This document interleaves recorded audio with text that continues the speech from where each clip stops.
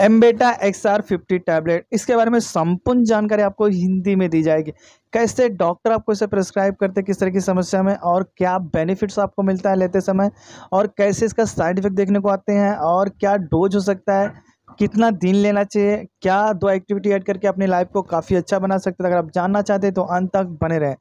तो एम्बेटा are fifty tablet के बारे में जानते हैं तो इसे इंटास फार्मास्यूटिकल द्वारा बनाया जाता है। इसका जो पैक है थर्टी टैबलेट का वन स्ट्रिप जिसकी कॉस्ट एक सौ जो मार्केट में ज़्यादा भी हो सकती है।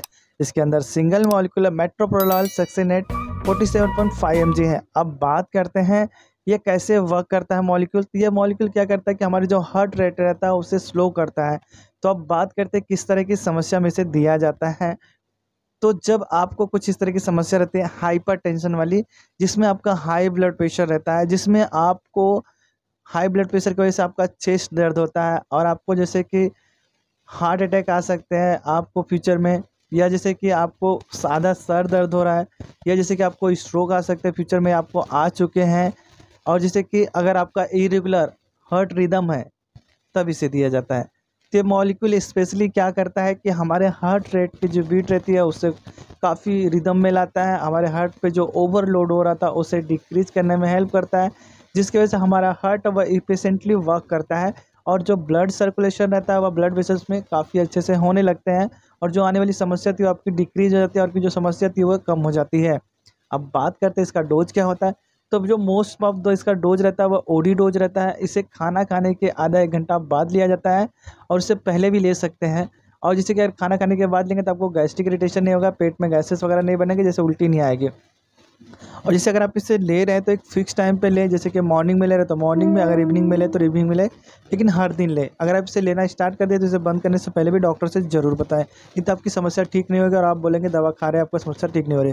तो जैसे कि अगर आप इसे ले रहे हैं, अगर कोई डोज मिस कर जा रहा है तो सिंगल डोज फॉलो करें।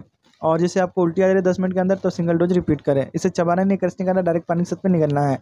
और जैसे अगर आप इसे ले रहे हैं, इसके साथ में दो एक्टिविटी ऐड करते हैं, जैसे कि पहला एक्सरसाइज दूसरा प्रॉपर डाइट एक्सरसाइज में आपको रनिंग स्विमिंग साइकिलिंग और वेट लिफ्टिंग योगा रख सकते हैं, जिसमें 10 से 15 मिनट हर दिन करें, जिससे आपके पूरे बॉडी का सर्कुलेशन बना रहेगा और प्रॉपर जो डाइट है, उसमें आप ऐसे फ़ूड को अवॉइड करें जिसमें हाइट सोल्टेड रहें और जैसे कि हाँ ज़्यादा नमक रहे और जैसे कि आपको ऐसे फ़ूड को अवॉइड करना है जिसमें हाई फैट रहे, जैसे कि बुलॉक्स मीट आपको हो गया या पिग मीट या बफेलो मीट या गोट मीट है तो उसे अवॉइड करें और हाई फैट जो मसाले वाली चीज़ें रहती है, उसे अवॉइड करें जंक फ़ूड फास्ट फ़ूड को अवॉइड करें और जैसे कि आपको अगर ये सब चीज़ें करते हैं ऐसे तो देखेंगे बहुत जल्दी ही आपको रिलीफ मिलने लगेगा और आपकी जो लाइफ साइकिल है काफ़ी चेंज हो सकती है।